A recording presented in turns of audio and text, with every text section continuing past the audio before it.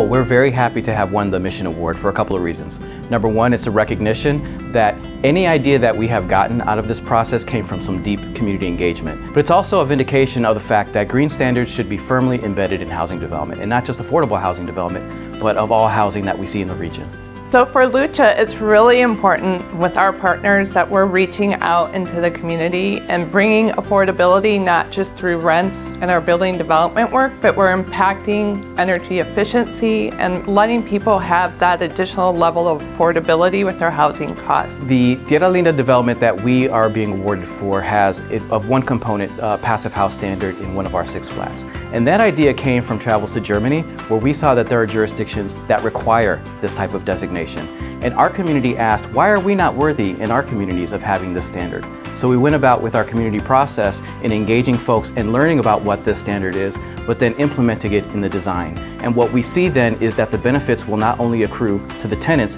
who will see large savings in their rents, but it also accrue to the community because then we'll see environmental resilience and climate change as well. Because pursuing energy equity, health equity, and climate resilience is one of our major goals, this award is also a benefit in that we get to influence our partners to say that green standards should be firmly embedded in the work that we all do together. So not just building to passive house and reducing energy costs that way, but going out and affecting low and moderate income homeowners who are also getting weatherization done through Lucha, and also our housing counseling who is training our new home buyers about sustainability and how to be energy efficient.